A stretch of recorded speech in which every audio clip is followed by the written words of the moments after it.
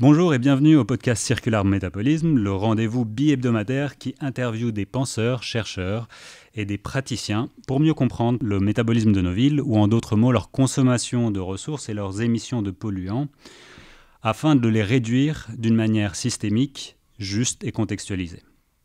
Je suis Aristide de Métabolisme Cities et dans cet épisode, nous allons euh, commenter ou comprendre comment la mobilité transforme nos territoires, nos modes de vie et notre planète.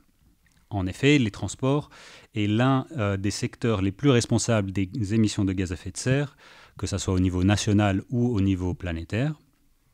Et en même temps, il est au centre de nos activités quotidiennes, tant professionnelles, familiales et de loisirs. Du coup, on, va essayer de mieux comprendre le lien entre mobilité sociale et mobilité physique, mais aussi comprendre comment ralentir nos villes et nos vies grâce à deux concepts, celui du rythme et de la vitesse. Pour parler de ces thématiques, j'ai le plaisir de discuter avec Vincent Kaufmann. Vincent est, professeur de sociologie urbaine et d'analyse des mobilités à l'École polytechnique fédérale de Lausanne, où il dirige le laboratoire de sociologie urbaine, l'ASUR, et ses travaux portent sur l'étude de la mobilité et de ses liens avec euh, la transformation des sociétés contemporaines et de leur territoire. Il a différentes casquettes. Depuis 2011, il est le directeur scientifique du Forum Vie Mobile, un think tank de la mobilité soutenu par SNCF. Et depuis 2015, il est également associé cofondateur et président de Mobilhome, dont l'équipe pluridisciplinaire propose des offres d'études, recherche et expertise en matière d'urbanisme et de mobilité. Juste avant de, lancer cet épisode, si vous aimez bien cet épisode-là et euh, les passés, n'hésitez pas euh, à les, partager avec vos collègues, avec vos proches. Et n'hésitez pas de continuer les discussions dans les commentaires, dans les différents réseaux sociaux, afin d'approfondir ce sujet et puis de rendre ceci plus disponible à tout le monde. Bonjour bien, euh, Vincent et bienvenue au podcast. Bonjour et merci pour l'invitation, c'est un plaisir. Euh, avant de lancer euh, cette thématique qui, a beaucoup de facettes, peut-être tu peux nous dire, toi, comment tu en es arrivé en tant que sociologue à étudier la mobilité? Bon, c'est une très vieille histoire qui, remonte à, qui remonte à l'enfance. Moi, j'ai toujours été fasciné par, par le déplacement. Euh, et donc, euh, quand j'ai fait des études de, sociologie, j'ai eu envie, euh, pour mon mémoire de fin d'études, de travailler sur, sur des questions de, de transport. J'ai dû batailler un peu parce qu'il n'y avait personne dont c'était la spécialité, puisque cette spécialité n'existait pas. C'était au tout début des années, au tout début des années 90. Donc, à Genève, à l'université. Et puis finalement, j'ai trouvé un, directeur de mémoire. Et, puis après, les choses se sont enchaînées. Ce, travail de fin d'études euh, m'a permis d'enchaîner sur une thèse de doctorat. Et puis ça m'a un peu mis le, pied à l'étrier. Et effectivement, euh, voilà, j'ai travaillé sur ces questions euh, à une époque où personne ne travaillait là-dessus, ou, quasi personne. Tu, tu, as utilisé le mot déplacement que tu aimais bien depuis que tu étais enfant. On parle ici de mobilité, il y a aussi également le, terme transport. Est-ce que tu peux peut-être nous aider à mieux comprendre C'est des concepts différents, c'est la même chose? Qu'est-ce que c'est tout ça? Alors je pense que bon, la notion de mobilité, elle est, vraiment un peu galvaudée, c'est-à-dire que mobilité, ça veut tout dire et ça veut, ça veut rien dire. Euh, ou plus précisément, suivant le domaine dont, on, dont, on, parle, finalement, on, entend des choses assez, assez différentes. Euh, et je pense qu'effectivement, pour pouvoir travailler dans, ces, dans, ce domaine de, euh, des déplacements de la mobilité, euh, du, transport, du voyage et, autres, il faut, il faut un petit peu définir les, les termes. Mmh. Alors, bon, moi, je me suis. Ça, c'est un des travaux que j'ai, que, j'ai, que j'ai dû faire, en fait, pour pouvoir un petit peu m'approprier le, le, champ, c'est de, fixer un peu le, le, sens de ces, de, ces notions. Et concernant la mobilité, moi, je suis resté très, euh, très sociologue, mm-hmm. c'est-à-dire euh, j'en suis resté à, à, l'idée un petit peu euh, originelle de euh, de Sorokin, hein, qui, est, cet auteur euh, russe émigré euh, aux États-Unis qui avait défini la mobilité dans son ouvrage Social Mobility, mhm. paru en 1927 ah à Chicago. Eh, c'est du coup l'école de Chicago ou pas du tout?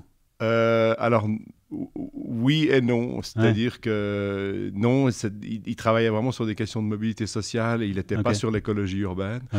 Euh, mais il était en relation avec, euh, avec les chercheurs comme Park ou comme Burgess à l'époque, euh, de, de, la première école de, de Chicago. et donc, pour revenir à Sorokin, donc Sorokin, il, voilà, il définit la, il définit la mobilité comme une transformation de soi. Et, j'aime bien cette définition, c'est-à-dire, et si on essaye de l'actualiser euh, voilà, par rapport à la période euh, contemporaine, on peut dire la, bah, la mobilité, c'est euh, une transformation de soi avec l'espace. voilà. Alors, on va se dire, c'est super abstrait, où est-ce qu'on va, etc. Mais en fait, non, il faut, peut-être prendre des, exemples. J'aime bien prendre des exemples dans la, vie quotidienne, mais on, peut, on pourrait en prendre à différentes échelles. Euh, de, la, vie quotidienne à, l'histoire de vie, en passant par, euh, euh, le parcours de vie et puis voilà des, les vacances ou autres. Mais si on, si on prend un exemple dans la vie quotidienne, ben, ben ce matin, je suis venu pour le podcast, donc je, voilà, je me suis, je me suis levé comme, comme toi, j'imagine. moi, j'ai deux garçons qui font des études. Là, ils sont en train, ils sont en période d'examen. Donc, euh, il faut préparer les petits déjeuners pour eux parce que voilà, il faut essayer de faire du café, faut un petit peu. Et donc euh, voilà, donc là j'étais dans un rôle, euh, voilà, un, rôle de soutien, un rôle de père dans un univers qui est privé. Donc j'ai une attitude, une gestuelle, une, manière de me tenir dans mon corps, une manière de parler qui, qui, est propre à cet univers-là. Et puis ensuite euh, j'ai pris le train et puis je suis venu, euh, je suis venu ici. J'ai pris le métro pour euh, changer, etc. Et puis j'arrive ici et puis on a, on a ce, rendez-vous pour le podcast. Et évidemment, j'ai une attitude qui est complètement différente. Mhm. de nouveau, à, tous les niveaux, dans ma, dans ma gestuelle, dans la manière de parler, dans la manière dont on interagit, toi et moi. Et, donc, voilà, moi, c'est comme ça que je définis la, mobilité, c'est-à-dire que en, venant euh, ici ce matin, eh bien, euh, j'ai opéré une transformation de moi-même, j'ai changé de rôle, mhm. et ça s'est produit dans l'espace, c'est-à-dire qu'il y, y, a un déplacement en train et en métro. Et, et voilà, il y a cette double dimension, je crois, dans, la mobilité. Et c'est dommage euh, de, ne pas la, considérer, parce que sinon, effectivement, si on considère que la dimension spatiale, alors, alors on peut parler de déplacement, alors on peut simplement parler de transport. Il n'y a pas d'intérêt à avoir la notion de mobilité, hmm. si c'est pour en faire juste un, synonyme. Et donc, et je trouve que ça, cette notion euh, où on intègre la dimension sociale, elle permet aussi des, des réflexions peut-être euh, euh, original sur euh, bah, le lien notamment avec la consommation d'énergie. Euh, prenons un exemple. Si on, si on, garde cette idée de transformation de, de soi dans l'espace et qu'on reste sur la vie quotidienne, mm-hmm. bah, les déplacements de missiles travail, par exemple, il y a, il y a une cinquantaine d'années, c'était quoi 3, 4, 5 kilomètres, peut-être en voiture, hein. parfois, peut-être même souvent, mais ça restait relativement confiné, on va dire. Euh, c'est un mot qu'on a beaucoup utilisé, mais là, non, ça restait dans, le proche, dans la proximité. Euh, en, 2000, euh, enfin, à partir des années 2000-2010, on voit par exemple en, Suisse, c'est le chiffre qui me, qui me vient en, mémoire, mais on pourrait en citer plein d'autres. Il y a 10% de la population active en, Suisse qui travaille à plus de 50 km de son domicile principal. Mm-hmm. Donc ça veut dire quelque part que pour un, changement de rôle de la vie quotidienne, donc une transformation de soi, de l'univers privé à l'univers professionnel, on, avait besoin de faire 3-4 km il y a 50 ans, puis maintenant on en fait beaucoup, beaucoup, beaucoup plus. Je trouve que ça interroge, ça interroge sur les rythmes de vie, ça interroge sur notre consommation d'espace, ça interroge... Euh, voilà, sur toute une série d'aspects liés à nos modes de vie. Mhm. Et à l'heure où finalement on se pose des grandes questions liées à la sobriété, euh, voilà, c'est important peut-être de se souvenir, ça n'est qu'une une mobilité domicile-travail. Quelque part, on n'est pas plus mobile. Hein, si on prend la définition en termes de transformation de soi, on n'est pas plus mobile quand on fait 50 km par rapport à quand on fait 4 km, c'est juste un déplacement domicile-travail. Voilà, c'était pour juste donner cet exemple. Ouais, non, mais c'est. Euh, et, du coup, Enfin, tu, changes de mot en fonction évidemment de ce que tu décris. Il y a, dans ce phénomène-là, il y a l'articulation spatiale sociale, il n'y a que le spatial. Du coup, là, c'est plutôt déplacement et transport. C'est comme ça. Voilà, tout à fait. Alors après, bon, après voilà, c'est aussi pour fixer un sens au mot, on aurait pu faire les choses un petit peu différemment. Tout à mhm. fait. Oui, mais c'est bien ça. Euh, donc tu as déjà mentionné quelques chiffres clés de la mobilité, donc euh, combien on se déplace. Il y a aussi en termes d'impact environnemental, je pense que c'était euh, entre 15 et 20% au niveau mondial les, les émissions de CO2, et je pense qu'au niveau national, ça peut varier aussi. Enfin, je pense qu'en France, c'est 30 ou quelque chose comme ça. Tu dis aussi que les kilomètres parcourus commencent à augmenter dans le temps, et j'imagine également les, les temps de trajet s'allongent, pas forcément non plus? Les temps de trajet, les durées de déplacement ont tendance à effectivement s'allonger, ou elles ont eu tendance à s'allonger. Mhm. Euh, donc on a... il y, a, y a un chercheur euh, qui, qui, est chauffeur d'origine israélienne, Yaakov Zahavi, je ne sais pas si hmm. ça, te dit quelque chose. Euh, c'est un, un, chercheur qui, dans les années, euh, dans les années 70, a, a compilé des données de, de, mobilité de la vie quotidienne dans, dans toute une série de villes euh, du monde, donc des villes nord-américaines, des villes japonaises, des villes européennes. Il y avait l'Afrique du Sud, si je me souviens bien. Il y avait euh, il y avait aussi des. Est-ce qu'il n'y avait pas la Russie aussi? Bon, peu importe. Mais ce qu'il a mis en évidence, c'est ce qu'on a appelé dans la littérature la conjecture de Zahavi, c'est le fait que euh, ben finalement, dans toutes les villes du monde, on se déplace entre une heure et une heure et quart. À l'époque où il a mesuré, euh, voilà, c'était dans les années dans les années 70. par jour? Par jour, par personne et par jour. C'est une moyenne agrégée, globale, etc. Et puis ce qui montre, et ce qui est intéressant en lien avec des questions euh, d'urbanisme et d'aménagement du territoire, mais aussi de politique des transports, c'est qu'il bah, y a des villes où euh, c'est pratiquement euh, une heure de transport en commun, comme à Tokyo. Hmm. Il y a des villes où c'est une heure de voiture, comme à Los Angeles. Il y a des tas de villes où c'est une heure à pied. voilà, c'est des, bah, des, villes, je sais pas, par exemple d'Afrique de l'Ouest, où, voilà, où la population se déplace aussi, mais essentiellement à pied. Et donc, il, y a cette conjecture de Zahavi, c'est un, un mécanisme qui lie euh, le, temps que l'on prend dans sa vie quotidienne pour se déplacer à, quelque part la, vitesse, la vitesse du transport. Et c'est quelque chose qui a été beaucoup, euh, beaucoup utilisé. Euh, voilà, pour faire des projections aussi, en se disant, mmh. bah, effectivement, avec une, avec une conjecture comme celle de Zahavi, on peut imaginer l'impact que peut avoir l'ouverture d'une nouvelle infrastructure euh, de transport rapide, euh, qu'est-ce que ça va permettre euh, en termes, si on, si on, prend cet horizon d'une heure à, une heure et quart, voilà, de, déplacement par personne comme ça des cercles concentriques autour de une heure et on voit voilà, ce qui se passe. On, peut, on, peut, aussi imaginer, on peut aussi imaginer des dynamiques de mobilité résidentielle de gens qui pourraient être amenés à déménager parce que tout d'un coup telle zone devient accessible, que les prix de l'immobilier sont moins chers, enfin, etc. Bon, donc il y a eu, il y a eu toutes sortes de travaux autour de cette idée et et ce qui est intéressant par rapport à, ces, à cette conjecture de Zahavi, et puis le, budget temps euh, de, transport qu'elle met en évidence, c'est qu'effectivement, à partir, c'est resté stable euh, pendant plusieurs dizaines d'années, dans les années 70, 80. 90 et puis à partir des ouais, milieu des années 90 ça a commencé à augmenter on est passé de, de budget temps de transport euh, de la vie quotidienne agrégé moyen autour d'une heure à autour d'une heure et demie et ça fait maintenant 10-15 ans qu'on est autour d'une heure et demie. Et il, bon, il y a les, les, les, travaux qui ont été menés autour de ces questions montrent que c'est notamment lié euh, au développement des objets connectés. C'est-à-dire que effectivement, quand on se, quand on se déplace, euh, mhm. bah, euh, on a peut-être des possibilités d'utiliser son temps qui se sont un petit peu développées et qui font que... Travailler dans le train. Voilà, ou, ou, pas travailler d'ailleurs. on imagine toujours... J'entends, quand, dans, dans, les enquêtes, je me souviens d'une enquête québécoise sur le sujet. qui montrait que les gens ne travaillent pas dans les transports publics, ils sont sur des chats en gros, ah et sur des réseaux sociaux. Mais bon, bref. Euh, mais, mais, donc, je trouve que c'est assez intéressant comme mécanisme. Après, il y a d'autres mécanismes, ça c'est un des, une des interprétations, il y, a, il y en a, il y en a d'autres. Il, il, y a aussi... Euh, la ségrégation sociale dans les villes qui fait qu'avec des phénomènes comme la gentrification, le fait que les prix de l'immobilier augmentent dans un certain nombre de centres urbains, ben, on est obligé de, de s'éloigner du centre et donc mhm. le budget temps de transport moyen euh, voilà, tendanciellement euh, augmente dans un certain nombre de, régions.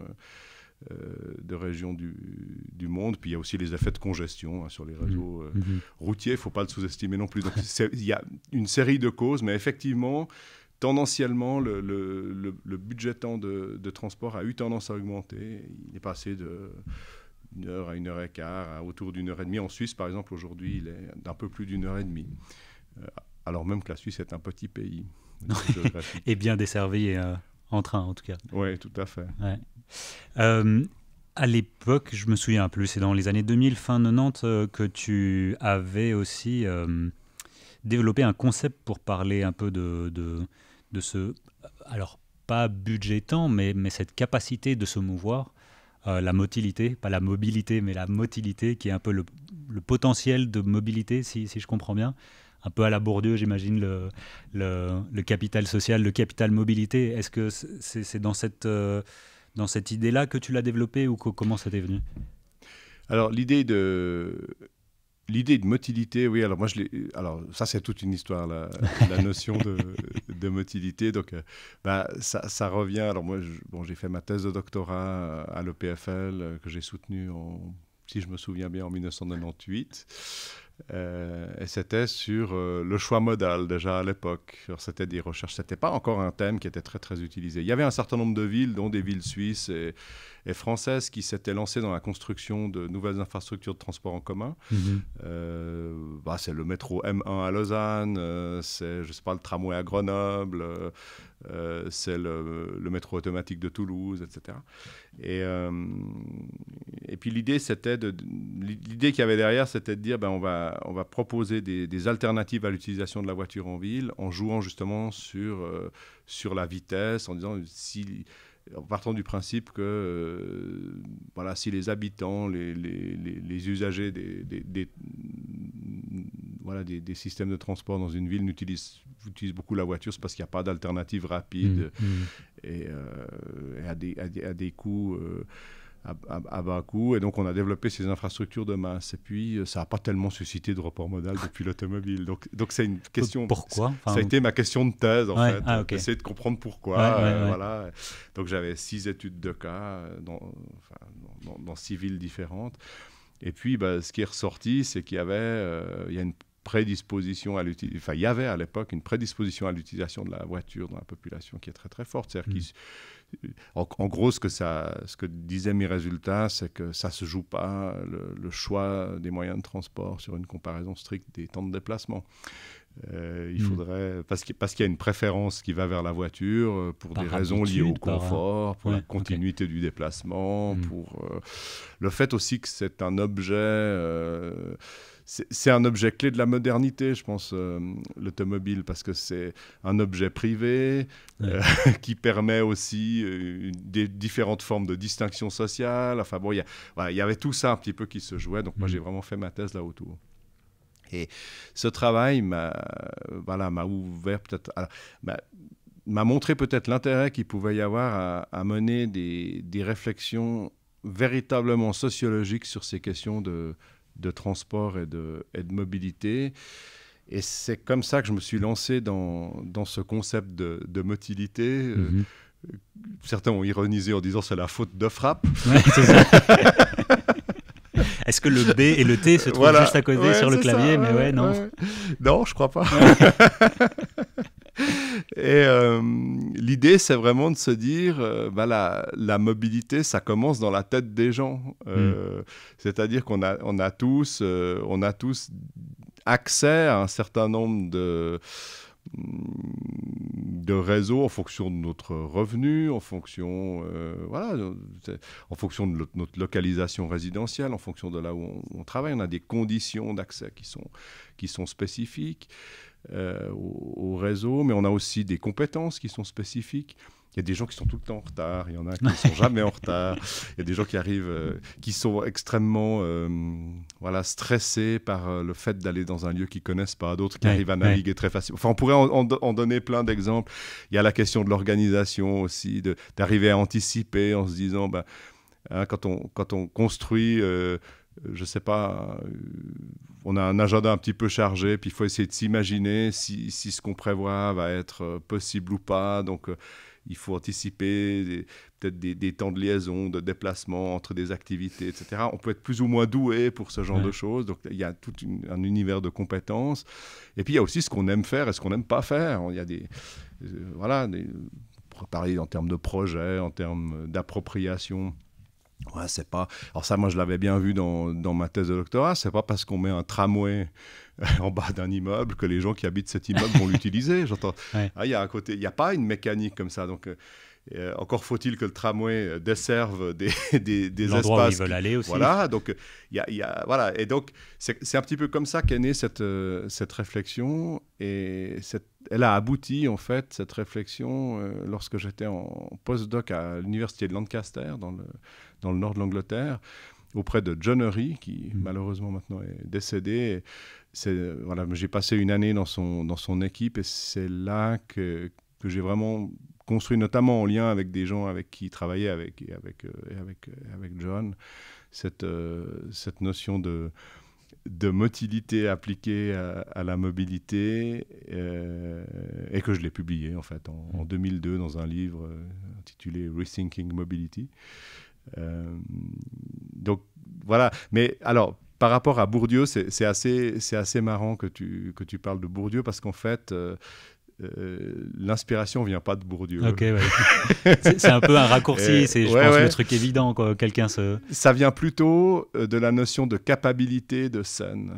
Euh, donc le, prix Nobel d'économie, en, considérant que voilà d'une certaine manière la, la motilité c'est une forme de capacité, c'est-à-dire c'est-à-dire un, il faut dire une une aptitude euh, située dans un contexte euh, qui en fait d'une certaine manière un, potentiel.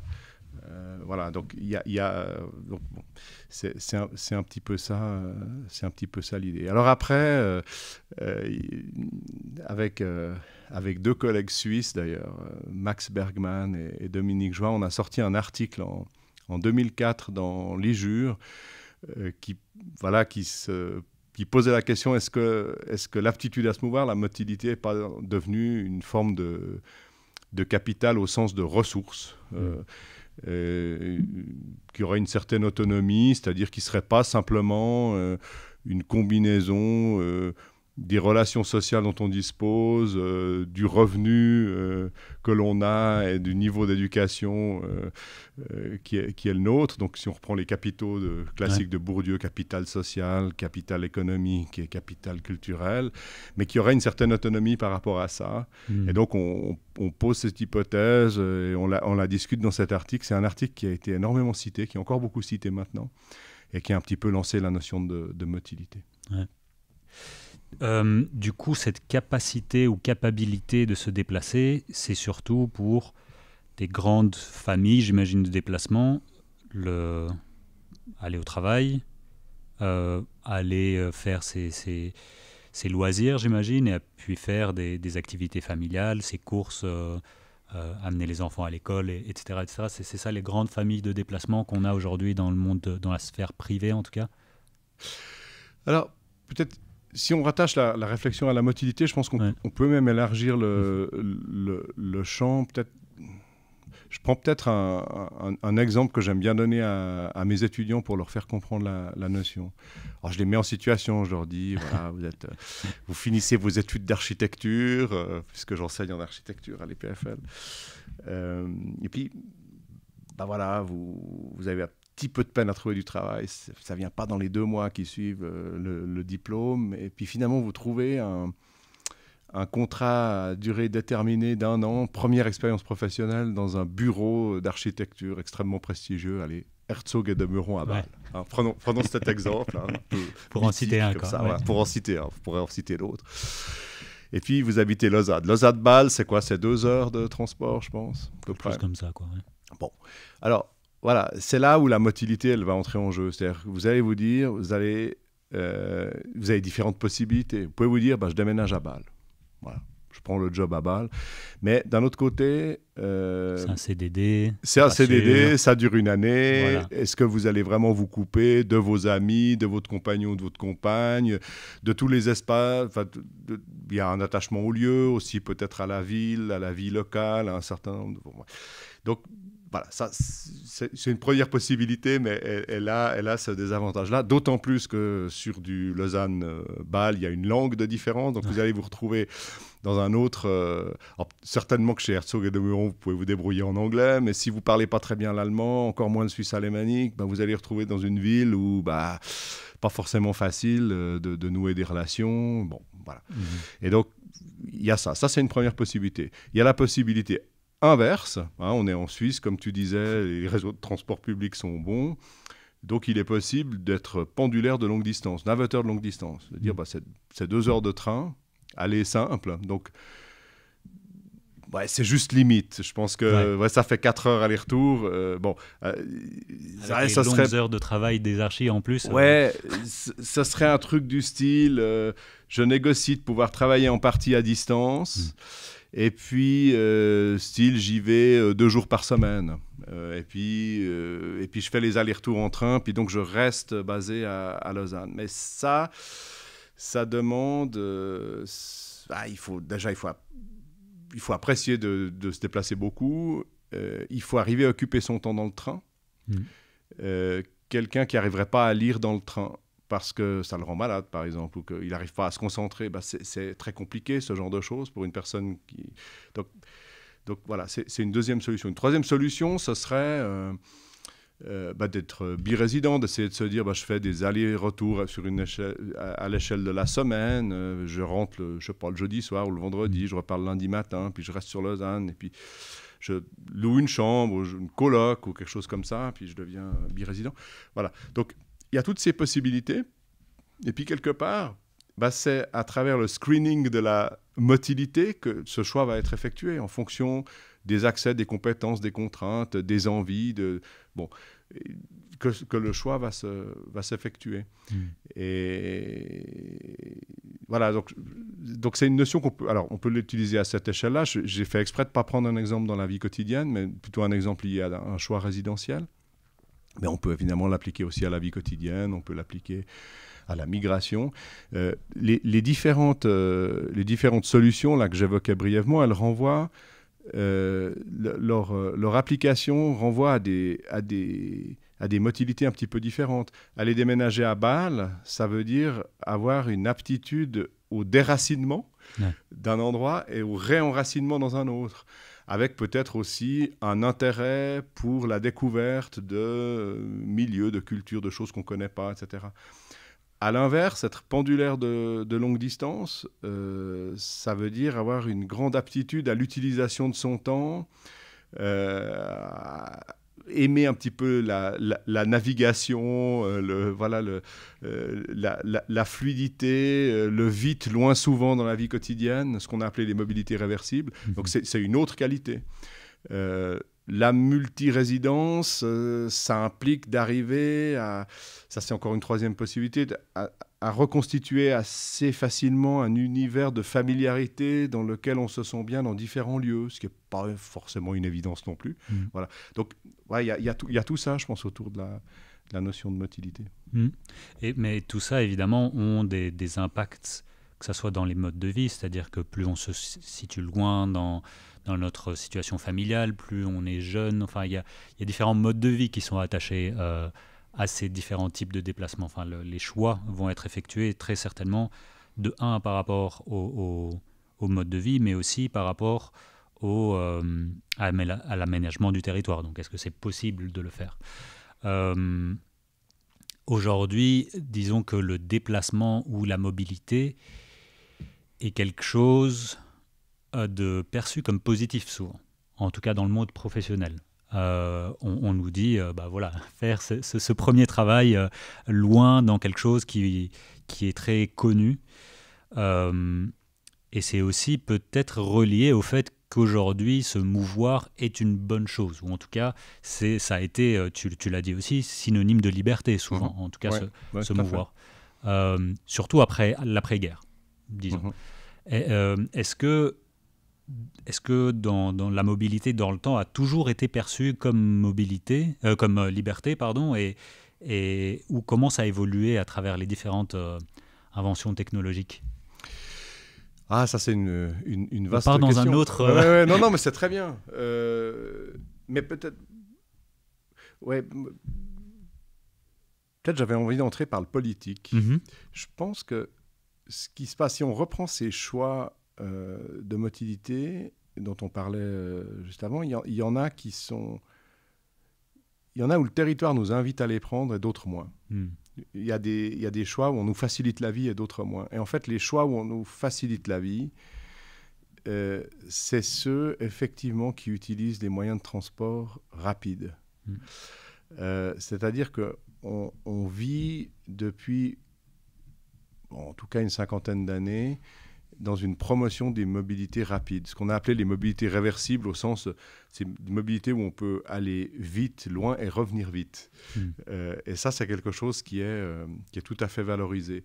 Et pour reprendre l'exemple de la personne qui trouve un boulot à Bâle en habitant Lausanne, en fait, ce qu'on voit empiriquement dans les recherches, c'est que la solution qui est privilégiée, euh, c'est en général celle qui est la plus réversible, c'est-à-dire pour qui peut se payer la pendularité de longue distance, il le fera. Si c'est pas possible parce que c'est trop cher ou que, ou que c'est jugé pénible parce que trop long, alors ça va être la multirésidence. Et le dernier truc qui va venir, c'est le déménagement. Mhm.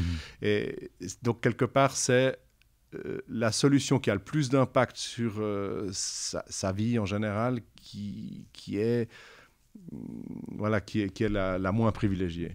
Et, et c'est lié, euh, alors on peut prendre l'exemple de la Suisse, mais je pense qu'on pourrait faire le même exercice dans, dans toute une série de, de pays, c'est notamment lié à des questions politiques. Mmh.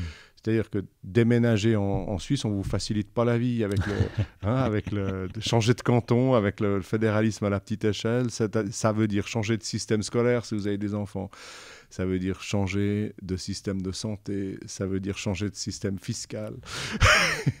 et c'est toute une histoire. Hein. et donc, euh, bah, ça, ouais, ça, ça pousse pas à le faire.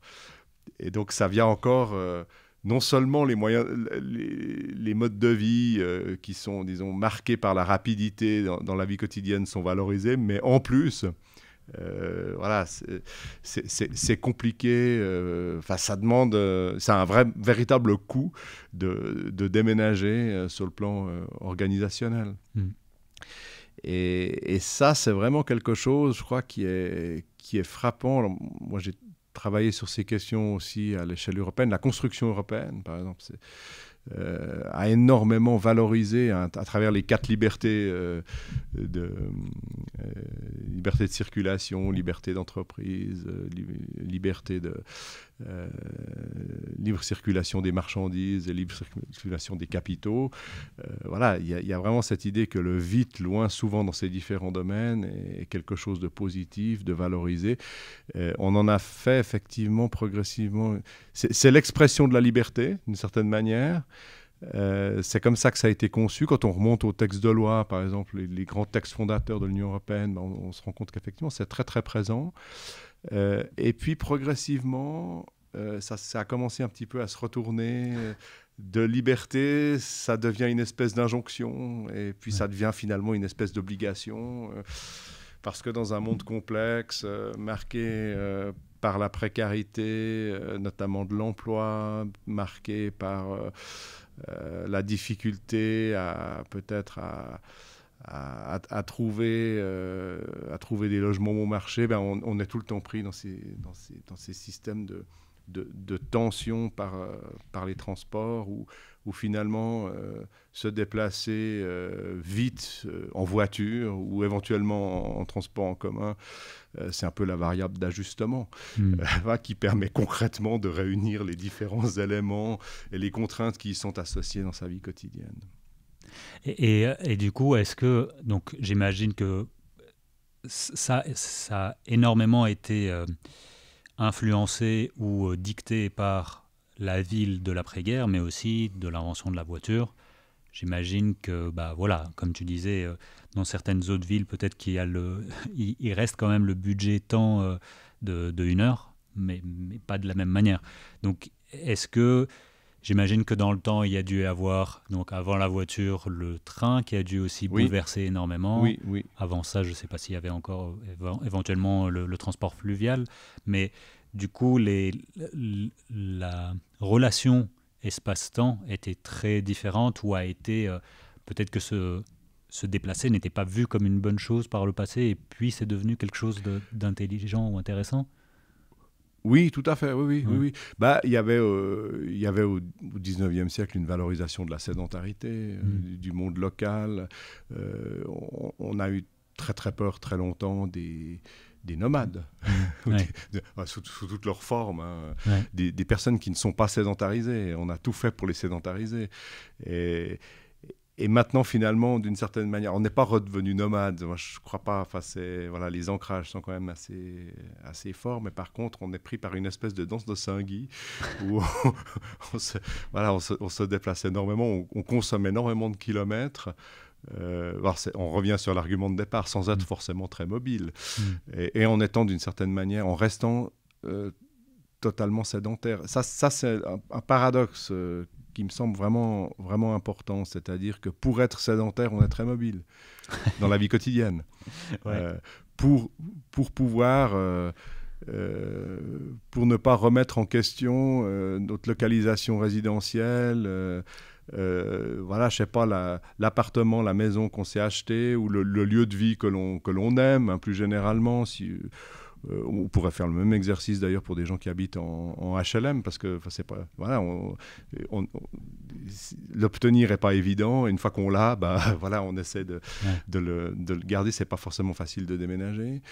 Euh, donc il y a cette euh, toutes sortes d'attachements de mécanismes qui font qu'on est on n'est pas poussé à, à, déménager et donc on est très sédentaire et probablement plus que par le passé et puis en même temps, ben, on est euh, hyper mobile au niveau euh, de sa vie quotidienne en, parcourant énormément de kilomètres. Mmh. Et voilà, on est, on est dans une forme un peu, un, peu paradoxale où on peut vraiment s'interroger est-ce que vraiment c'est ça Est-ce que la mobilité, c'est vraiment parcourir beaucoup de kilomètres? Est-ce que. Voilà, ça se discute vraiment. Et là, je pense qu'il ne faut pas oublier que la mobilité, c'est aussi une valeur et que quand on commence à faire un plaquage mobilité, liberté, etc., euh, là, comme chercheur, il faut, faut, commencer à être un peu analytique et puis se dire attention.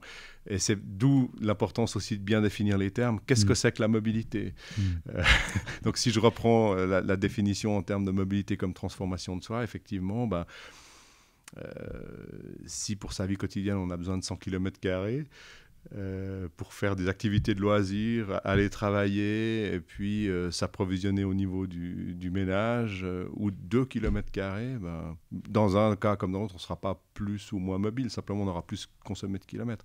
Et ça, je pense que c'est un élément c'est certainement un élément important à l'aune des débats sur la sobriété, etc. Mmh. Parce que voilà, si on a besoin de 100 km pour, euh, pour vivre, on n'est pas sobre. Euh, on a un programme d'activité voilà, qui, est, qui est ce qu'il est. Si on, peut avoir le même programme d'activité sur un territoire beaucoup plus restreint. Euh, c'est pas de la démobilité, c'est pas.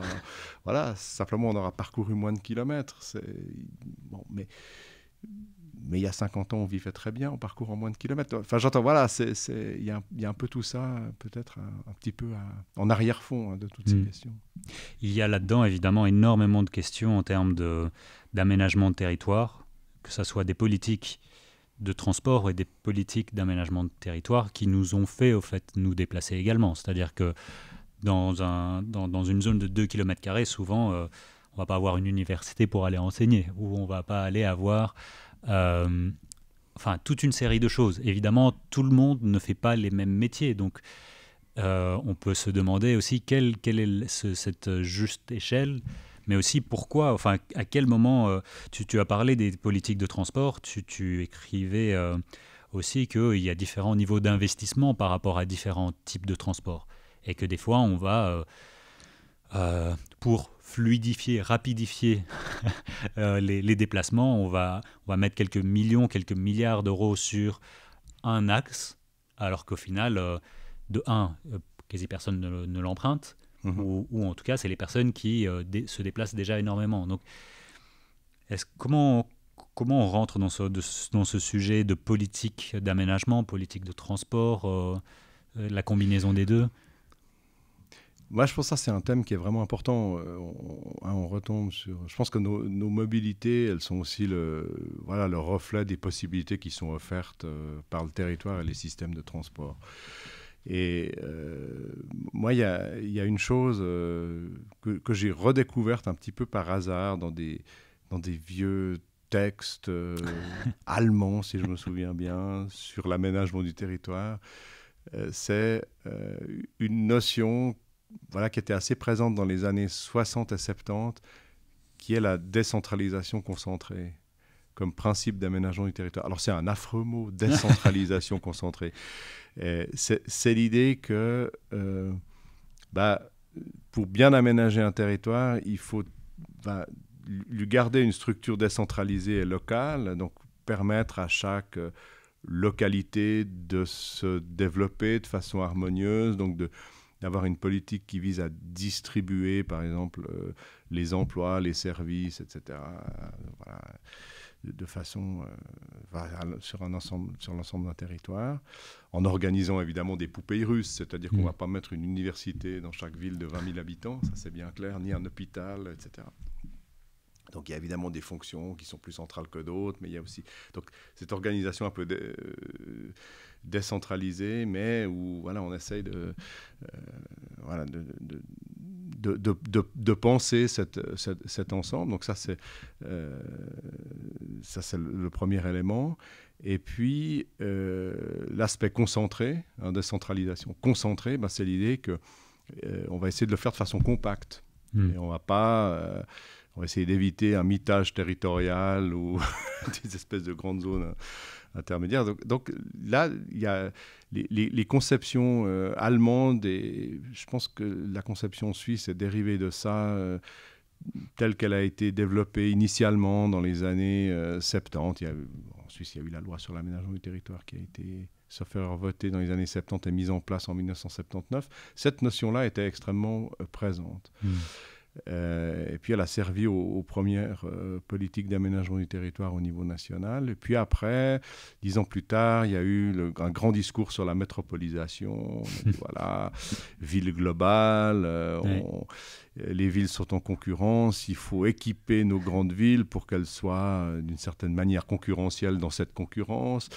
Et donc, et donc, on a un petit peu oublié cette décentralisation concentrée, et puis on a mené une politique de...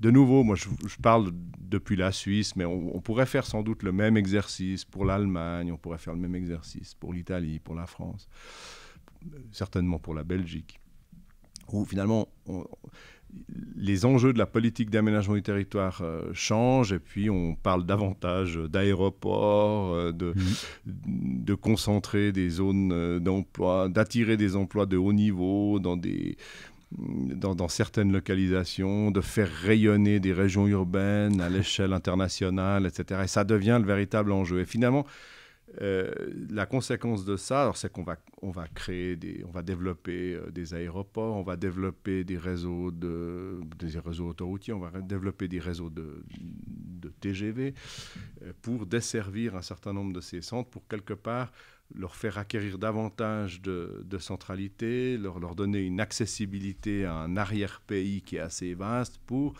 d'une certaine manière, les, les rendre concurrentiels à une échelle internationale, dans une concurrence de villes. En Suisse, on a vu ça, par exemple, pour... Euh, euh, pour attirer des, des, entreprises multinationales ou des organisations internationales, si on prend le cas de, de, de, Genève. Donc ça, a été mmh. très présent. L'idée euh, d'avoir un aéroport international qui a beaucoup de destinations est un ingrédient central dans cette politique, etc. etc. continuer. Et, donc, on a un petit peu oublié euh, cette décentralisation concentrée. Et, je pense que maintenant, on arrive à un moment où euh, il faut sans doute la retrouver. C'est-à-dire que la, conséquence de ces politiques de, métropolisation, c'est qu'on a fait la promotion des, mobilités euh, lointaines euh, par un certain nombre de moyens de transport rapides, qui ne sont pas forcément chers. Hein. L'avion, c'est aussi le low cost, bah beaucoup le low cost. et, ça a une empreinte environnementale qui est quand même assez problématique. Et donc, il est important, je crois, de, voilà, de peut-être de retrouver ces anciennes notions, qui d'ailleurs, c'est assez marrant parce que la décentralisation concentrée, on en trouve des traces dans la, dans la politique, euh, dans les lois d'aménagement du territoire. Donc il n'y a peut-être même pas besoin de réinventer des nouveaux articles. Hein. Il faut peut-être juste aller relire et appliquer des choses qui existent. Mais euh, voilà, cette idée de, de, de, de beaucoup mieux distribuer l'effort que l'on fait pour le territoire et de ne pas le concentrer uniquement sur euh, quelques régions urbaines que l'on aimerait promouvoir, ça me semble être vraiment quelque chose d'important.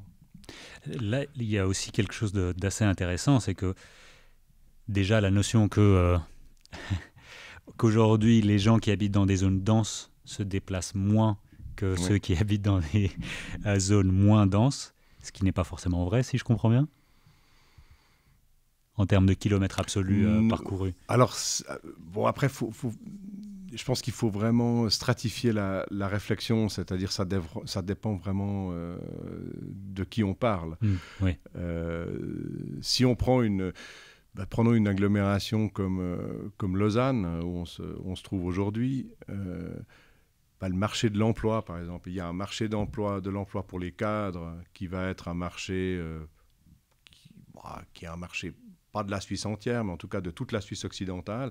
C'est-à-dire que si vous habitez Neuchâtel, ou vous habitez Fribourg, ou vous habitez Genève, et que vous trouvez un emploi à Lausanne, vous n'allez pas déménager. Vous allez Donc, quelque part, le bassin d'emploi est très très large. Mmh. Par contre, euh, pour des emplois non qualifiés, euh, ben, il va être tout petit le bassin. Euh, aussi parce que... Ben, voilà, on ne fait pas beaucoup de... Voilà, si on travaille dans la si on travaille dans la, dans la restauration ou avec des horaires très décalés, bon, déjà les salaires sont petits, donc on ne pourrait pas se payer facilement tous ces kilomètres. Puis en plus, euh, il y a peut-être une proximité entre le, lieu de travail et le, domicile qui est nécessaire simplement euh, du, fait d'horaires décalés qui font que sinon c'est très vite un peu compliqué. Et donc je pense que voilà, il faut, faut, vraiment avoir la vision un peu, un peu stratifiée, c'est-à-dire qu'on on, trouve dans les villes euh, des, des, personnes qui se déplacent très peu et d'autres qui se déplacent énormément. Mmh. Euh, et donc, c'est pas forcément facile de comparer avec des personnes qui habiteraient dans une région rurale et qui seraient contraintes de se déplacer beaucoup en automobile. Euh, voilà, donc bon. Donc peut-être que c'est d'ailleurs euh, ces considérations-là une chose qui montre que l'urbain, on a beaucoup parlé de la transformation hein, de, de l'opposition ville-campagne mmh. en en un monde qui serait urbain, donc d'une certaine manière, où ces différenciations se seraient passablement estompées. Là, on, voit à travers cet, exemple que, que ça n'est pas qu'une vue de l'esprit et que c'est relativement tangible. C'est-à-dire qu'effectivement, euh, c'est plus si facile d'opposer euh, l'un à l'autre en termes de mode de vie. Euh, et voilà, on va, on va trouver dans, des, dans, des dans des localisations et des cadres de vie assez différents, des, des modes de vie assez différents aussi. Donc, mmh. Euh, peut-être euh, on, va ouais, peut-être qu'on peut parler de ça maintenant. Tu as mentionné dans cette décentralisation concentrée de différents euh, en, termes de poupées russes et avoir différentes fonctions à différentes échelles spatiales. Mhm. Je trouvais ça très intéressant parce qu'on peut se dire comment on priorise ces fonctions-là. Qu'est-ce qui doit être proche et qu'est-ce qui doit être loin? C'est-à-dire, à un moment, c'est aussi un, un jugement de valeur. Enfin, il y a, parce qu'aujourd'hui, on dit on va faire euh, en fonction des emplois existants, par exemple, mhm. mais les emplois existants existent parce que l'espace le permet aussi. Donc, si on avait des universités, euh, je sais pas moi, une dans toutes les villes de, de 20 000 habitants, bah, on ferait plus d'études, peut-être. Euh, donc, je me demande euh, comment on peut réfléchir si, si on suit, si on poursuit cette notion de décentralisation concentrée, sur quelles euh, valeurs, critères, indicateurs on peut euh, choisir ce qu'il y a et où? Bon, euh, C'est pas évident à répondre. Non, hein, c'est pas c'est pas évident, mais je pense qu'il y, a eu un certain nombre de, tentatives quand on a commencé à délocaliser un certain nombre d'activités. Euh, si on continue avec la Suisse, par exemple, il y a un certain nombre d'offices fédéraux, donc nationaux, qui ont été décentralisés. Je pense à l'Office fédéral de la statistique, qui mm. maintenant est à Neuchâtel. Euh, il y a un certain nombre de services de, de l'AVS et de l'assurance invalidité qui sont à Genève. On pourrait faire l'exercice pour, Donc c'est peut-être ça la, la, manière, c'est de se dire décentralisation concentrée, c'est peut-être se dire ben, on va distribuer un certain nombre de fonctions centrales dans des dans, dans, le territoire, euh, dans, dans, des villes euh, petites et grandes. Alors, on l'a plutôt fait dans des grandes villes. La question qu'on peut se poser, c'est est-ce qu'il ne faut pas aussi le penser dans des conurbations qui sont plus petites euh, En France, pour prendre cet exemple-là, on l'a fait dans un certain nombre de métropoles, ce qu'on a appelé des métropoles à partir des mmh. années 70, 80. Euh, les villes qui sont, en termes de hiérarchie urbaine, en dessous des métropoles, par contre, n'ont pas eu ce type de politique. Mais pourquoi finalement? Euh, J'entends, il y a des, voilà, des, villes de 100 000 habitants, de 50 000 habitants, il y a une, il y a une masse critique pour, avoir des équipements. Euh, voilà, donc je pense qu'effectivement, c'est. derrière, il y, a des, il y, a des, choix politiques, il y a, il y a une vision du territoire, euh, plus ou moins décentralisé, on y, on y mhm. revient, mhm. et, mais je pense que c'est un, un, vrai chantier. Euh, il y, y, a une chose qui est importante euh, en termes de, de, mobilité par rapport à ces questions-là, je pense, c'est si on ne veut pas que cette décentralisation fasse le lit d'une augmentation massive du déplacement en automobile, il faut penser les localisations de façon très fine. Hmm. Et l'Office fédéral de la statistique euh, à Neuchâtel, je pense que c'est un bon exemple de ça, parce qu'il est localisé à côté de la gare de Neuchâtel. Donc il est extrêmement accessible en train hmm.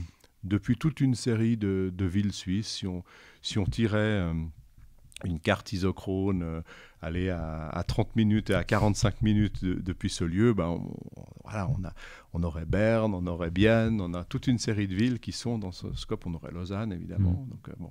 Et donc, c'est. Voilà, je pense que ça, c'est un élément, moi, qui me paraît, euh, qui me paraît important. Hein. si, évidemment. Euh, la question, la question climatique est importante, mais moi, je, même, enfin, je pense que ça doit même pas être discuté.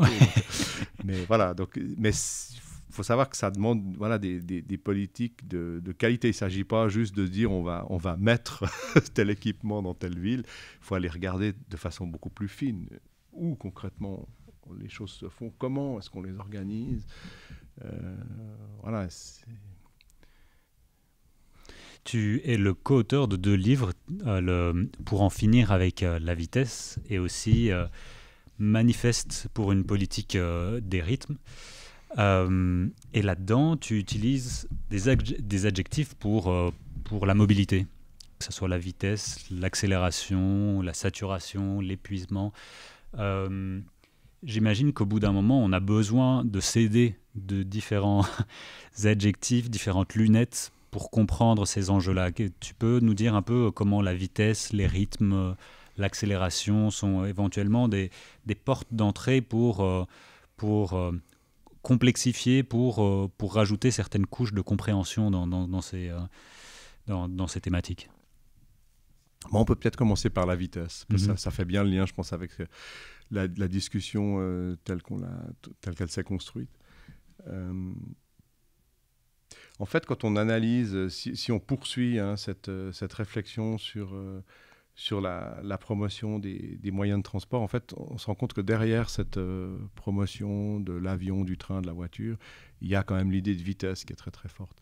Euh, l'idée de vitesse, l'idée à l'idée de, de, liberté, mais encore, encore maintenant, j'entends si euh, et, pas, alors dans le monde du travail, c'est évident, dans le monde académique dans lequel nous sommes tous les deux, mm. bah, c'est clair que, bah, je sais pas, moi quand j'ai un, admettons que j'ai un doctorant qui, bah, il fait une thèse sur article, et puis il a un premier article qui est quasiment prêt, qui est manifestement très innovant, très sympa, etc.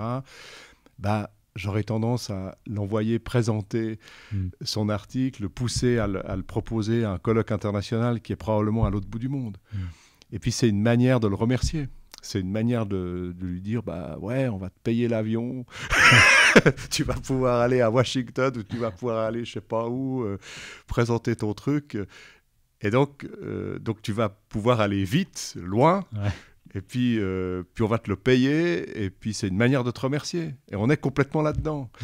Et, et, donc on est, des, on est des drogués de la vitesse. C'est ce qu'on ce essaye de dire dans ce, dans ce livre, c'est que euh, changer, euh, changer ces systèmes de, de, transport, ça implique de quelque part de, de, sortir de cette idée de, de, vitesse comme étant totalement valorisée. Donc c'est d'où d'où ce titre pour en finir avec avec, avec la vitesse. La vitesse, elle imprègne, euh, alors elle est, bon, elle, elle, est valorisée, mais elle imprègne aussi les normes, les, les, les, lois. Prenons un exemple en ingénierie des, des transports. Pourquoi euh, Alors quand je dis ça, ça, m'attire toujours des foudres, mais pourquoi euh, dans, la, dans la gestion des flux routiers, c'est toujours le flux rapide que l'on privilégie? Pourquoi?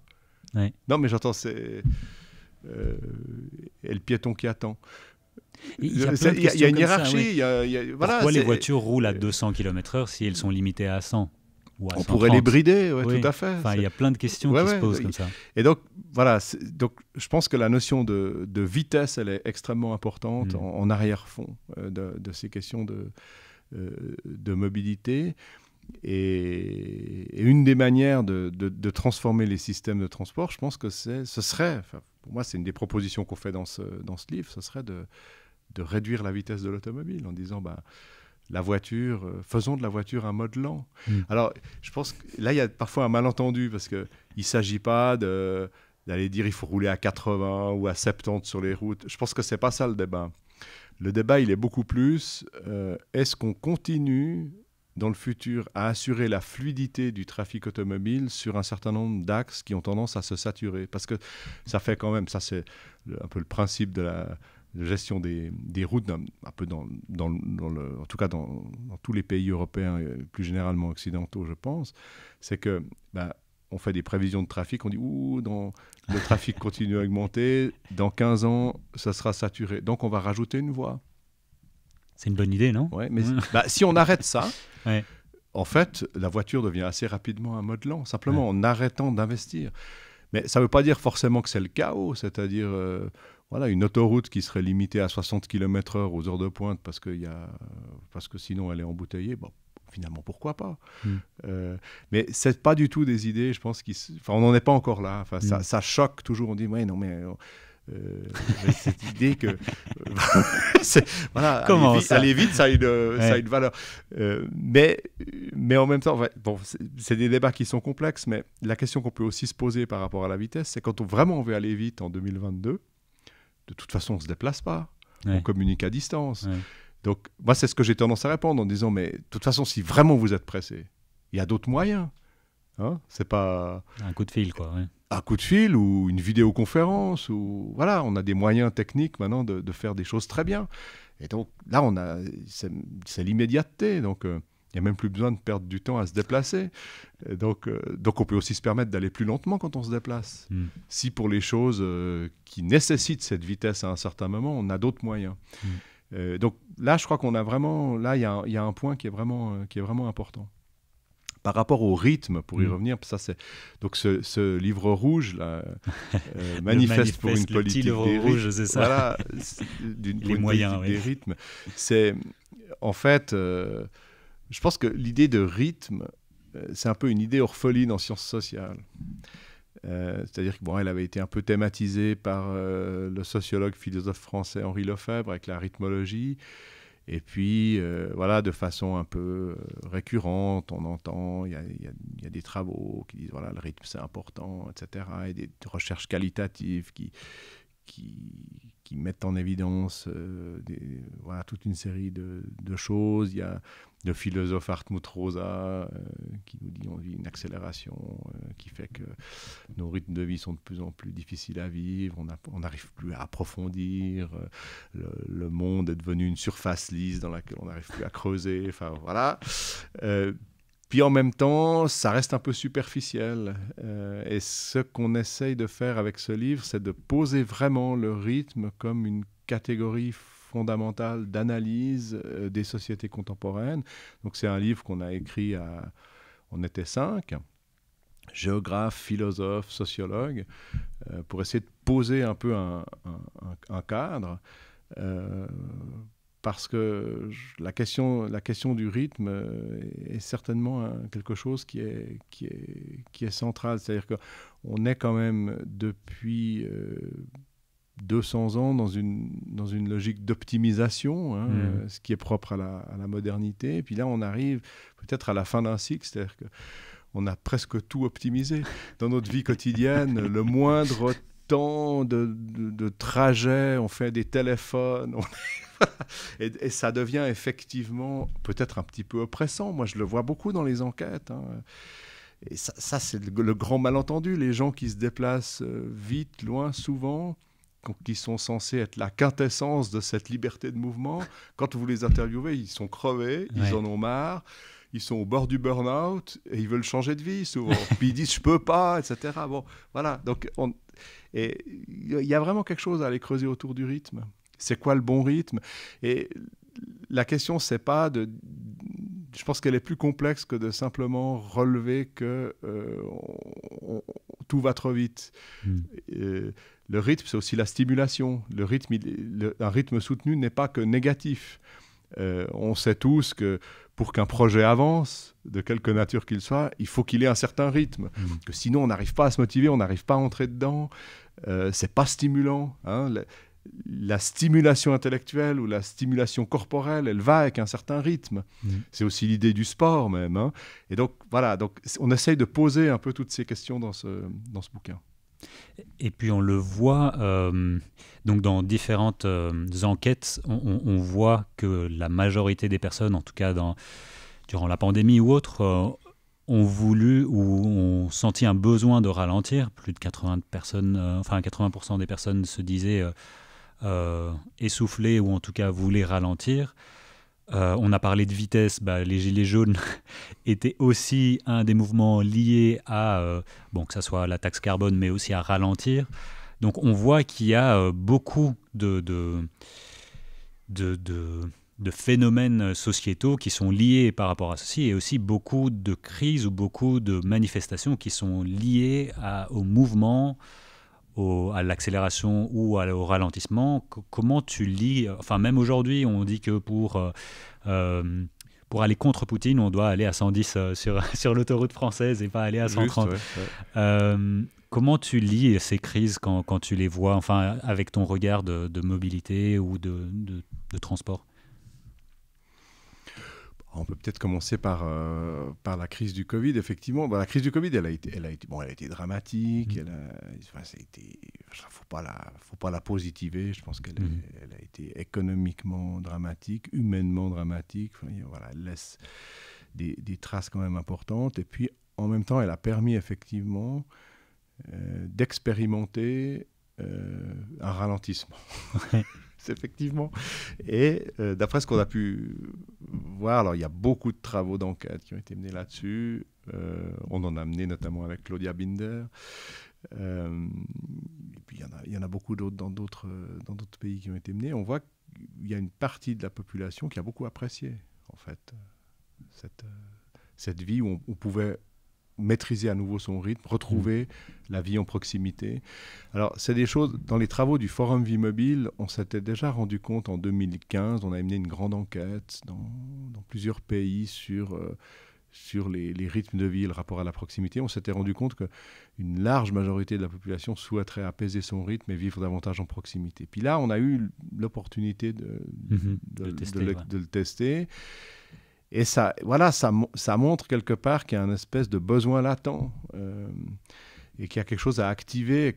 probablement que la politique d'aménagement du territoire, toute une série d'autres politiques d'ailleurs, voilà, sectorielles, pourrait s'en saisir et que ça, voilà, la, la population est peut-être beaucoup plus prête à, à, changer certains éléments de son mode de vie qu'on peut l'imaginer, parce qu'il y a voilà, le, le, le, mode de vie euh, tendu par la vitesse n'a pas que des avantages. Et, ça, c'est peut-être un petit peu quelque chose qu'on oublie dans le, dans le débat sur la sobriété. On a toujours l'impression que ce sera moins, mais en fait, ce sera aussi plus. hein? Et, là, euh, voilà, ou plutôt, ça peut aussi être plus. Euh, et, ça, c'est quelque chose, je pense c'est un message qui est très important pour, ces, pour ces crises. Il y avait notamment écrit dans, dans, ce livre, pour en finir avec la vitesse, que les Français envisagent des changements radicaux des sociétés à condition que ce soit fait de manière équitable. Donc on voit aussi que oui, alors, oui, alors ça, ça c'est aussi, alors ça on l'a aussi vu dans les enquêtes sur le, Covid, c'est que c'était très inéquitable, c'est que la manière dont on, voilà, dont on a vécu ce, ce, ralentissement dépend évidemment des conditions de logement, du fait est-ce que est-ce qu'on peut télétravailler ou pas? Est-ce qu'on a perdu son emploi ou pas? Enfin, etc., etc. Ça, c'est bien évident. Euh, quelle est sa situation Évidemment, on doit travailler, puis qu'on a deux enfants euh, qui ont l'école à la maison, et puis qu'on habite en deux pièces, c'est un tout petit peu compliqué. Mmh. Euh, donc, voilà, donc c'est il y a, y, a, y a, tout ça, il y a tout ça en, en, arrière-fond. Mais peut-être la, la, phrase là que tu ouais, que tu cites, je pense qu'elle m'amène aussi à une autre chose. On a parlé un peu des gilets jaunes, mais sans Mhm. sans, vraiment les évoquer. Moi, j'ai le sentiment quand même, autour de ces, questions de mobilité, que quand on veut prendre des mesures pour essayer d'aller dans le sens d'une mobilité plus écologique, on est souvent extrêmement insensible à euh, la question des inégalités. Fondamentalement, ce n'est pas les gilets jaunes qui posent problème. Enfin, les gilets jaunes. les personnes euh, euh, qui ont un mode de vie, voilà, qui habitent en milieu plutôt périurbain ou rural, des gens qui ont des, des emplois euh, plutôt d'employés, d'ouvriers, etc. C'est pas ceux-ci qui, qui, qui, posent les, les, problèmes fondamentaux de la, de la mobilité aujourd'hui. On l'oublie complètement. Mmh. Euh, là, il y a aussi un chiffre. d'ailleurs. Mais... Non, on a quand même 10% de la population euh, française, pour reprendre l'exemple de la France, qui produit 50% des kilomètres en voiture. Donc, euh, ce n'est pas les gilets jaunes qui étaient sur les ronds-points. Euh, ce n'est pas ces catégories de population-là. Et, donc, c'est vrai que quand on commence à inventer des taxes de type taxe carbone et compagnie, c'est complètement aveugle à ces inégalités. Parce que des personnes qui ont un haut revenu, c'est la même chose pour les péages urbains. Mhm. Euh, qu'est-ce que ça peut bien faire de payer même 5 francs chaque passage, 5 francs suisses pour entrer à Genève tous les jours? Si vous avez un, un très bon salaire, donc c'est une invitation à poursuivre votre déplacement en voiture au centre-ville. Vous dites, bon, de toute façon, voilà, je le paye et puis termine. Il y aura moins de personnes, donc je peux y aller plus facilement. Quoi. Ouais, en plus. Par contre, si vous avez un petit revenu, et puis qu'en plus, euh, par des effets euh, de gentrification, euh, vous n'avez pas vraiment accès à un emploi, à un, logement qui est bien localisé dans le système de transport, donc vous êtes loin des transports collectifs, puis vous êtes un peu condamné à la voiture, bah là, ça va être un peu la double peine. Donc il faut faire extrêmement attention à ça je pense que euh, là, il y a un des enjeux qui pour moi est, central. On n'arrivera pas à faire des politiques de transition euh, dans nos démocraties occidentales si on ne prend pas vraiment à bras le corps cette question-là. Euh, on n'y arrivera tout simplement pas. Donc, et c'est là où je reviens sur la vitesse. Je pense que la vitesse a, un énorme avantage. C'est-à-dire que quand on prend des, agir par la vitesse plutôt un, énorme avantage. Quand on prend des mesures dans le domaine de, la mobilité, c'est souvent euh, en, inventant des taxes, hein, mais avec les, avec les problèmes qu'on vient d'évoquer. Si on agit davantage par la vitesse en disant, ben, maintenant, on décide ou, voilà, que la voiture est un mode euh, dans lequel on va plus vraiment investir dans l'infrastructure, donc on va organiser les choses pour que ça se passe bien, que ce ne soit pas un chaos sur la route, mais on va c'est le train qui va devenir le mode rapide, la voiture, ça va devenir un mode progressivement beaucoup plus lent. Bah, c'est le cas pour tout le monde. et puis, ça a des, ça a des effets euh, économiques de redistribution euh, qu'il ne faut mhm. pas du tout négliger. C'est-à-dire que tout d'un coup, euh, ça on le voit bien, si vous regardez la localisation des centres commerciaux d'un certain nombre d'entreprises, on, distribue voilà, les, équipements, par exemple, les équipements commerciaux, la, la Migros, par exemple, euh, bah, elle, se localise en fonction des accessibilités, si, mm. et notamment des accessibilités automobiles. Si la règle du jeu des accessibilités automobiles change, la stratégie de la Migros va changer. Et tout d'un coup, des magasins qui n'étaient pas rentables parce que euh, parce que parce qu'à un quart d'heure de voiture, euh, il y a un autre centre, etc. Ben, si tout d'un coup, ben, c'est plus à un quart d'heure de voiture, mais c'est à 25 ou 30 minutes, ben, voilà, tout d'un coup, euh, ça, ça, implique peut-être de revoir cette, cette stratégie-là. Donc je pense qu'on y a vraiment intérêt.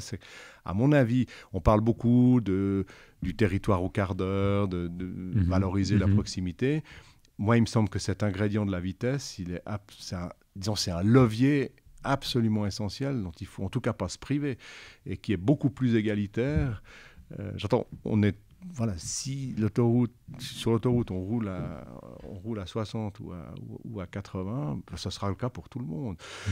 euh, parce que parce que y a, parce que le flux permet pas d'aller plus vite. Voilà, donc c'est voilà, ça c'est un message. C'est toujours très difficile de faire passer ce message-là parce que on a, on a été toutes ces dernières décennies dans, l'accroissement des vitesses. Et on pense que ça n'est pas réversible. Hmm. Et euh, moi, je pense qu'il faut vraiment poser ça sur la table un peu sérieusement. Si, si, on se pose cette question-là, du coup, si on se dit euh, vers quel euh, type de, de, déplacement ou de mobilité on veut tendre demain, que ce soit pour réduire l'impact environnemental, les injustices sociales, etc., etc., est-ce que tu en perçois déjà un? Est-ce que tu veux rentrer par la porte des solutions? Comment, comment on, enfin, on s'organise pour, pour cette nouvelle, euh, bah, peut-être pas mobilité, parce que transformation de soi au final, il n'y aura pas, mais en tout cas euh, déplacement. Comment on réorganise euh, tout ça pour, pour répondre à ces enjeux Alors, peut-être pour...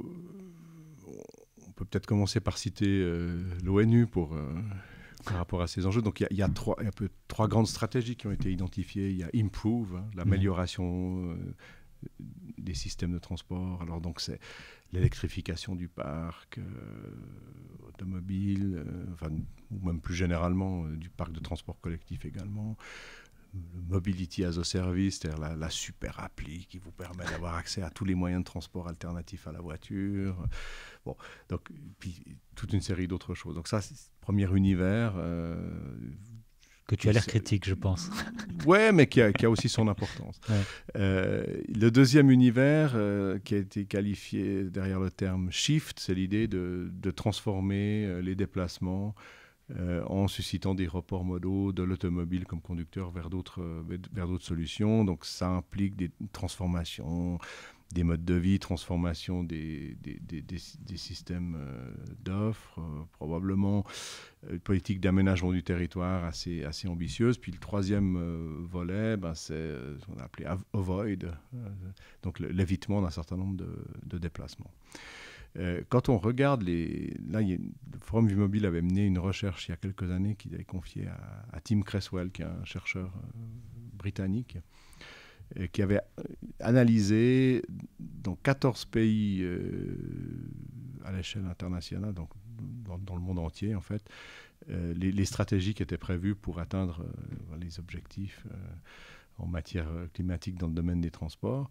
Et ce qu'il a mis en évidence, c'est que dans ces 14 pays, on ne mise que sur euh, Improve. Hmm. Et que le shift et le avoid sont totalement passés sous silence, alors même que l'ONU considère que c'est les leviers les plus importants. Et ça, moi, moi c'est un constat, c'est dommage, c'est vraiment dommage parce que euh, on l'a vu à travers ce qu'on a discuté, c'est-à-dire qu'il y a toute une série de, fenêtres de tir que l'on peut, que l'on peut activer par rapport au report modal et par rapport à l'évitement des, déplacements. Donc ça renvoie, pour l'évitement des déplacements, euh, à cette question de la décentralisation concentrée, à essayer voilà, de, produire des territoires locaux bien équipés dans lesquels on trouve tout pour vivre. Donc, ça aussi peut-être l'idée de masse critique euh, qui permet. Les villes moyennes, c'est ça Ou des, même des petites villes. J'entends. des villes de 5000 habitants, de 6000 habitants, il y en a partout. Enfin, c'est pas considéré comme des villes. Mais quand vous avez 5 ou 6000 habitants, euh, voilà, il y a un il y a un modèle économique pour du petit commerce. Alors évidemment pas quand il y a 200 habitants, c'est clair, mais quand il y en a 5 ou 6 000, c'est des choses qu'on peut organiser. Il y a, donc là, là, il y a un, là, il y a un grand chantier, je pense qu'il est vraiment important. Sur le report modal, euh, ce qu'on oublie beaucoup, c'est que, bah, c'est ce qu'on disait avant, c'est que beaucoup de gens sont, se considèrent comme stressés par leur mobilité rapide, aimeraient... Euh, quelque part davantage vivre en proximité, aimerait pouvoir euh, se libérer un petit peu de l'automobile. La dépendance à l'automobile, le fait d'être obligé de, se déplacer en, voiture est quelque chose qui, qui pèse sur beaucoup de ménages. Ce n'est pas, un, pas un choix, c'est vécu comme une contrainte. Et donc, euh, quand on offre une alternative, elle est utilisée. On l'a vu récemment euh, autour de Genève avec l'introduction du Léman Express, qui est ce, nouveau chemin de fer, qui c'est, cet ensemble de, réseaux qui dessert notamment la, Haute-Savoie. qui, était très mal desservi auparavant, et notamment pour venir sur Genève, sachant qu'il y a beaucoup de, frontaliers. Les objectifs de fréquentation du Léman Express, qui avaient été fixés, je crois, pour 2024, ils sont déjà atteints maintenant, alors même qu'il y a eu la pandémie, qu'il y a le télétravail, etc. Donc ça montre il y a un espèce d'appel euh, d'air qui est très très fort. Alors même aussi que la qualité de service n'est pas toujours euh, parfaite. Donc, ça, voilà, donc il y a plein de leviers qu'on peut, qu'on peut activer. Évidemment, ça nécessite un certain courage politique, certainement. Euh, ça nécessite aussi peut-être de se débarrasser de, de représentations du type personne ne veut rien changer. Il y a, des tas d'idées comme ça un peu. Et donc, donc, là où les donc, donc on va agir par la technologie parce que c'est le seul levier qu'on a véritablement. Mais en fait, non, je pense pas. Je pense pas que c'est. Euh, je pense pas que c'est vrai en fait pour pour analyser beaucoup ces questions-là. Donc, si toi tu dois aider une, ville, un territoire qui se dit euh, je vais changer ma mobilité, grâce à tes connaissances, grâce à ce qui, est produit, quel type de conseils euh, tu, donnes? Enfin, il y a une espèce de méthode. On va d'abord analyser, euh, disons, le, mix modal, et puis grâce à ça, on va faire peut-être une enquête locale, et grâce à ça, je vais proposer certaines actions. comment on, propose des actions à une ville ou un territoire? Alors moi, je pense qu'il faut d'abord avoir une, une, photographie euh, un, peu fine de, deux éléments, moi, qui me paraissent essentiels. C'est les rythmes de vie. Alors, il y, a des, manières de le mesurer.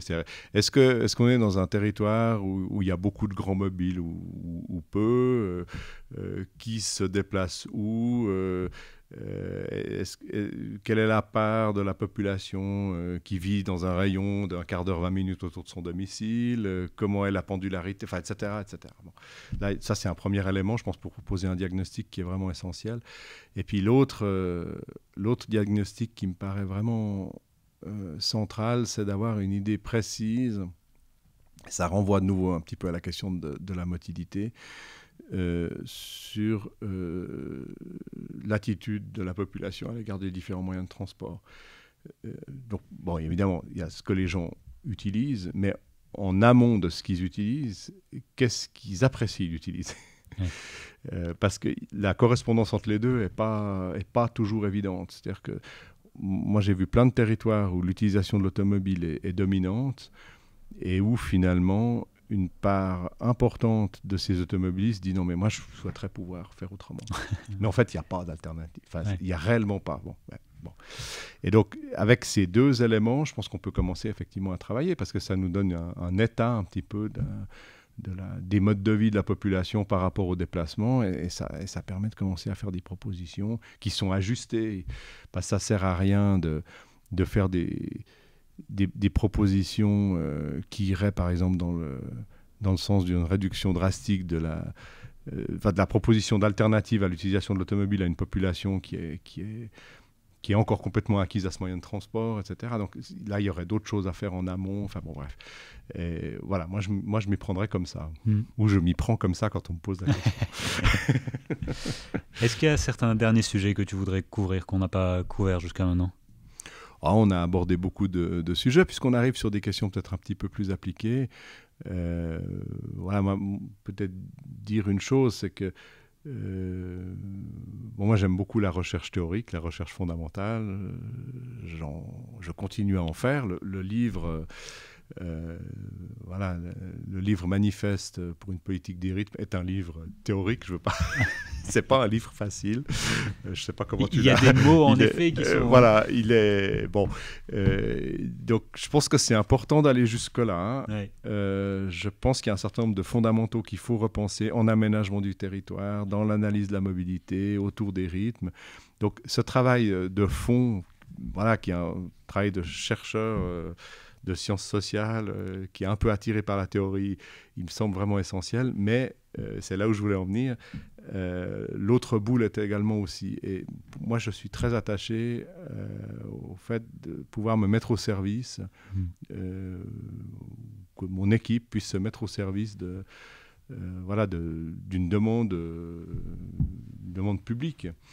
Et ça fait maintenant sept ans qu'on a, on a franchi le pas au laboratoire de sociologie urbaine en, en créant une, petite entreprise associée associé au laboratoire qui s'appelle Mobilome, que tu citais au début, euh, début de cet entretien, et où on, voilà, on essaie vraiment de, de, traduire euh, des recherches euh, souvent fondamentales en, en, action, en se mettant au, service des, collectivités. Et je pense que vu, vu l'urgence climatique, vu les enjeux et les défis qui nous entourent, euh, en fait, il est, il est indispensable que des, que des chercheurs euh, voilà, arrivent à tenir euh, voilà, ce, ce, grand écart finalement entre mhm. de, la, de la recherche théorique de, de pointe, de la recherche empirique pointue, et puis une mise au service voilà, de la société on dit toujours la société civile, je ne sais pas très bien ce que ça veut dire, ça serait par opposition à la société militaire, mais c'est pas c'est pas très heureux. Euh, voilà, disons euh, voilà, au service de la cité. Merci beaucoup Vincent pour euh, cette discussion. Merci, c'était passionnant. Et merci à vous d'avoir écouté jusqu'au bout. Si vous avez des questions, n'hésitez pas à les partager si vous avez eu des, euh, des moments où vous identifiez euh, par rapport à votre euh, mode de vie, par rapport à votre... si vous êtes architecte qui travaille à qui demeurant, dites-nous comment vous avez fait par rapport à Lausanne et Bâle. Et puis on vous dit à dans deux semaines pour un nouvel épisode. Merci.